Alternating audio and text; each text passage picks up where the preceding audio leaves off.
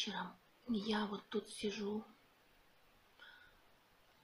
и у меня какие-то пошли размышлизмы. Хочу с вами поделиться. Ну, во-первых, то, что это не относится ни к стране, в которой я живу, ни к, ни к тому, кто я по национальности, это везде одинаково. Вот смотрите, что происходит. Сейчас э, люди все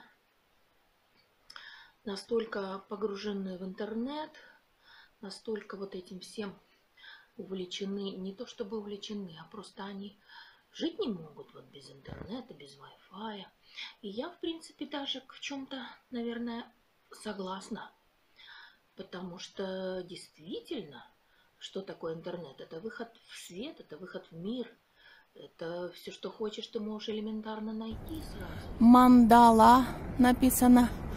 Hotel Oriental Lounge Bar. Отель Oriental. Почему мандала, не знаю. Красивая такая территория, очень яркие дома, красивые отели. Ну и я-то, например, очень рада тому, что я могу вам сейчас показать. Все, что могу, все, что хочу, поделиться с вами красотами Англии, ну и других мест, в которых я бывала. И, конечно же, то, что у меня здесь есть окно в мир тоже и окно э, для общения с вами. У меня очень много друзей появилось, именно виртуальных, благодаря моему каналу э, на ютубе. Но все-таки вот я волнуюсь за молодежь. И я хочу продолжить свои вот эти вечерние размышлизмы. Хочу продолжить говорить с вами, сидя у экрана. Тем более, что многие спрашивают, а почему вы никогда не показываете себя? Ну вот я уже объясняла много раз, что я предпочитаю, чтобы было видно вот всю эту красоту, а не только меня на экране. Но иногда, уж коль скоро вы желаете увидеть меня, я на экране буду появляться. И вот хочу дать вам дослушать до конца вот эту мою историю, вечерние размышлизмы.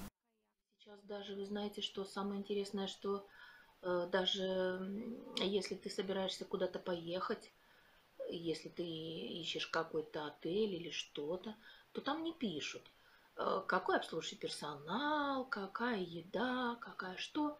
Ну, то есть пишут там немножечко об этом, а в основном всегда с самого начала пишут, есть Wi-Fi, есть в гостинице бесплатный Wi-Fi.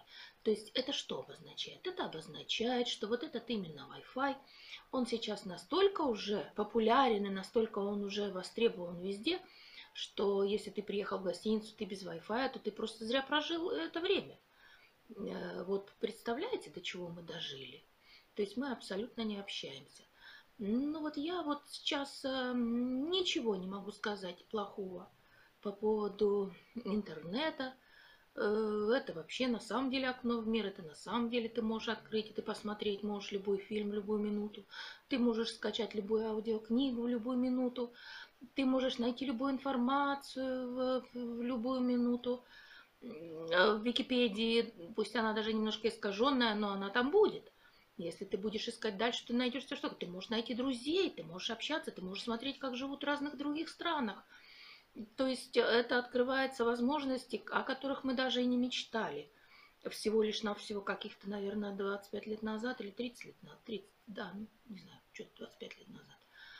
Но вы понимаете, что произошло? Произошло то, что наша молодежь сейчас, она же, в общем-то, без мобильного телефона, если ты забыл, я имею в виду кто-то из молодых, вот если он забыл мобильный телефон дома или что, все, у него катастрофа просто, понимаете?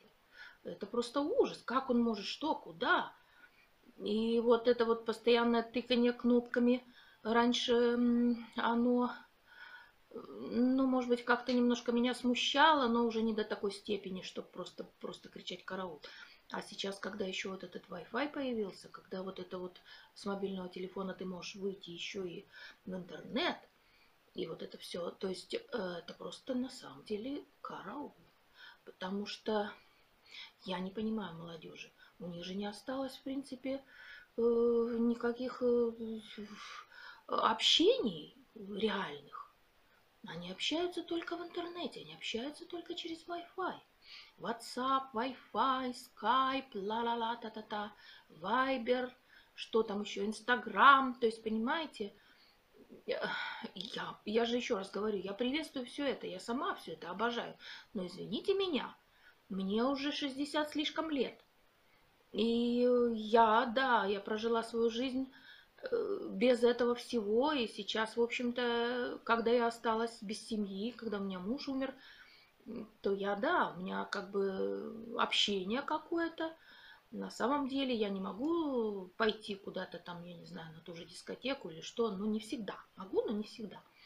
А, вот. А, и поэтому, если я открываю интернет, если я этим всем пользуюсь, то вот это именно, я считаю, вот для такого поколения, как э, для моего поколения. Э, жаль, что не все, конечно, моего поколения люди вообще этим пользуются и это знают. Но я считаю, что вот именно вот это вот все, это вот поколение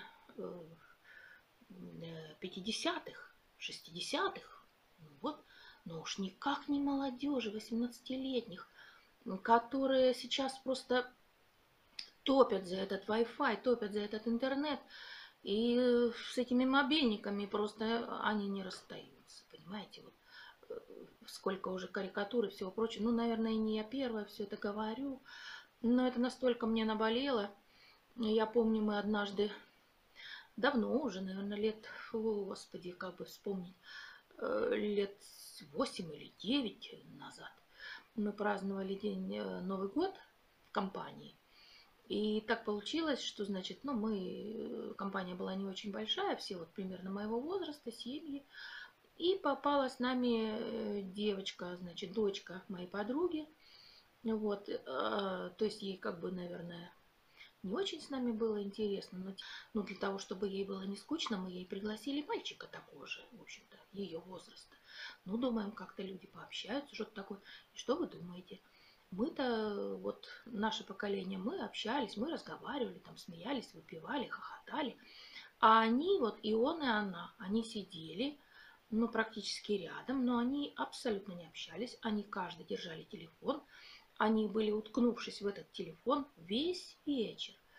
Всю вот эту ночь новогоднюю они только и тыкали, только и слушали, кто им прислал поздравления или не прислал поздравления. Или там, значит, вот она начала э, очень расстраиваться в связи с тем, что очень загружена, значит, смс-ками вот сейчас сети, поэтому смс не проходят, вот что-то как-то, вот, значит, ждать. А то, что рядом с ней сидит прекрасный, симпатичный парень, ее это абсолютно не волновало. Кстати, его тоже не волновало. Он тоже сидел, он тоже тыкал пальцами в этот свой телефон. И они прекрасно, так скажем, в кавычках, конечно, провели это время. Э, то есть, э, я не знаю, но для меня вот это просто катастрофа, вы знаете.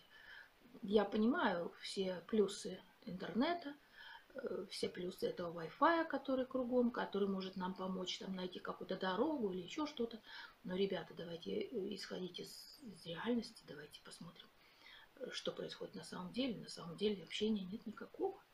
И при том, что это среди молодежи. Вот мне бы интересно было послушать ваше мнение. Если кто-то со мной э, не согласен, если кто-то не согласен, если кто-то имеет свое другое мнение, я была, бы очень э, рада подискутировать с вами.